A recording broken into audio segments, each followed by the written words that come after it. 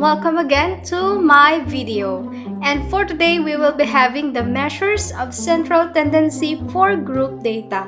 Last meeting, we had the ungrouped data, but for now, we have the grouped data.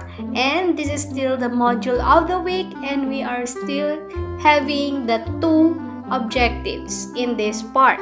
So, the measures of central tendency, as I have said earlier, there are three aspects, the mean, the median, and the mode. So, it differs from what we have discussed last meeting in terms of formula because mean, we use this formula x bar equals the summation of fx all over the summation of f. For median, the formula is equal to the lower boundary of the median class plus yan, the summation of frequency divided by 2 minus the less than cumulative frequency all over the frequency of the median class times its class interval. While in mode, yan siya, the lower boundary of the modal class plus the frequency 1 minus frequency 2 all over 2 times frequency 1 minus frequency 2 minus frequency 3 i. And ayan yung mga meaning nila. Problem number 1. Below is a frequency distribution table of the scores of 50 grade 7 students in mathematics in a 40-item test in statistics. Complete the table and compute for the value of the mean, median, and mode. Ayan. So, we will complete first the table before proceeding to the different formulas on how to find for the mean, the median, and the mode of group data. Kaya siya tinawag na group data kasi may class interval siya. Parang ganito. Kasi pag ungroup lang, yung normal lang, yung parang ginawa natin last lesson na nagbilang lang tayo kasi konti lang yung involved na numbers. But for now, we involve a greater frequency or the greater numbers. So, we use group data. The first thing we need to identify is for the class interval. What is the class size or class interval? So, ayan, 40 to 44, 35 to 39, 30 to 34, 25 to 29, 20 to 24, 15 to 19, 10 to 14. Yan. So, we will identify the class interval or your letter I or yung size niya which is 5. Bakit 5? O, for example, dito, 25 to 29. So, meron kang 25, 26, 27, 28, 29. Meron kang limang numbers na nandito sa interval na to. That's why 5 yung nakalagay. And so, with dito, o 40 to 44, 40, 41, 42, 43, and 44. Ayan siya. And itong frequency given And what we're going to do is to find for the summation. When we say summation, total sum. So 5 plus 6 plus 8 plus 12 plus 10 plus 6 plus 3, you have 50. Now, ito na yung class mark. This class mark will rely on the class interval. Tignan mo yung nasa middle niya. Tignan mo yung mean ng dalawang ito, 40 and 44. 40 plus 44 divided by 2 That's 42. And you will do it to the other class interval. So 35 plus 39 divided by 2, that's 37, 32, 27, 22, 17, and 12. Now, if we are done with the class mark or the x, let's proceed to the next column which is your fx. fx meaning you are going to multiply your f and the x, the column for f and the column for x. So 5 times 42, you have 210. 6 times 37 is 222. 8 times 32, you have 256.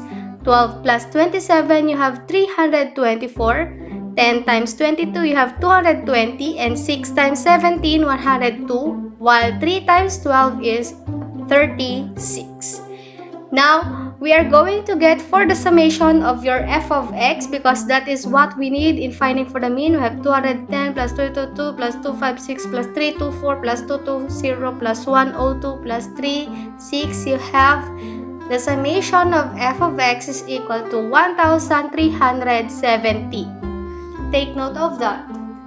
And now for the lower cumulative frequency or the lesser than cumulative frequency, since your frequency, total frequency is 50, ilagay mo dito yung 50. And then, pag less than, meaning magma-minus ka pababa.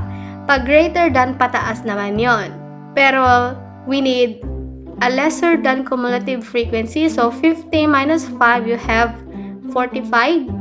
45 minus 6, you have 39. 39 minus 8, you have 31. 31 minus 12, you have 19. Minus 10, 9. Minus 6, 3. Pag nag-equal na dito, tsaka sa part na to, meaning correct na yung ginawa mo. And now for the lower boundary. Lower boundary, dito ka magbabase sa smaller number dito sa class interval. So, yung 40. Magma-minus ka lang dito ng 0.5. Pati dito sa mga part na to. Basta kung sino yung mas maliit na numero, magma-minus 0.5 ka. Kaya nito, 40 minus 0.5, we have 39.5.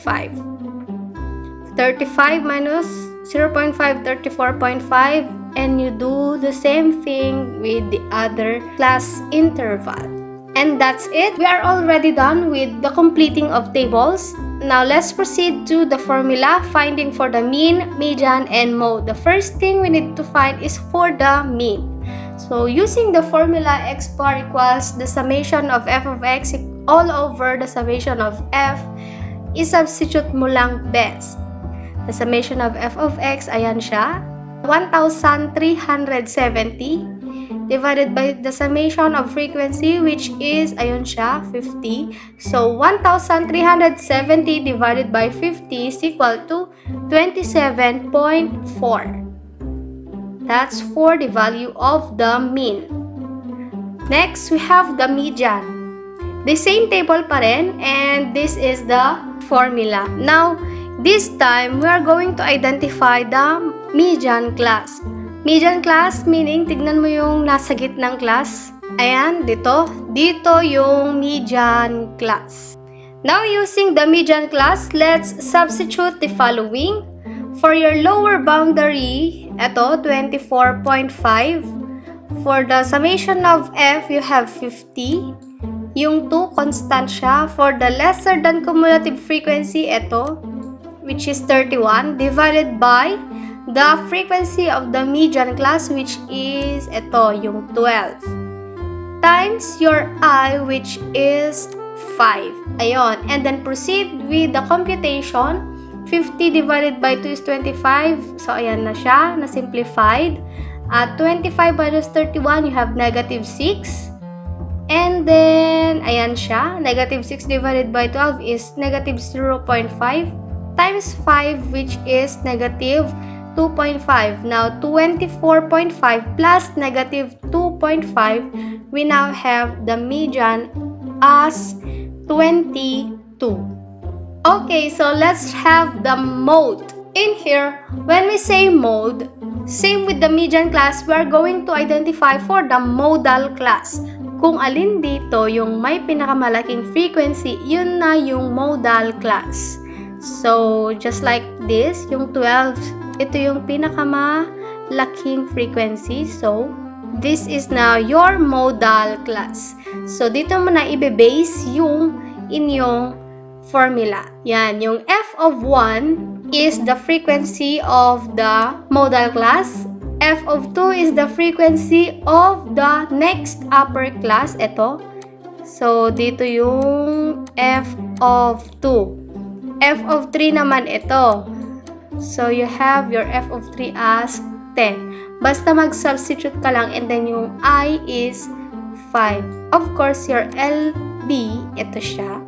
Now, the modal class is equal to 24.5 plus the simplified form of this is 4 over 6 times 5 Now, 4 over 6 is equal to 0.65 times 5, you have 3.33. Therefore, your mode is 27.8. Now, comparing the results, your mean is 27.4, median equals 22, and the mode is 27.83. As you can see, hindi sila pare-pareho, and we have discussed last lesson that the most reliable measure of central tendency is the mean. So, ako, dito ako mas nagre-rely. Okay, now it's your turn. Open your modules and do the activities assigned to you by your teacher. Thank you for watching and God bless you all. See you on my next video. That ends our lesson for today and I hope you learned something. So stay updated and do not forget to like, share, and subscribe and click the notification bell below for more updates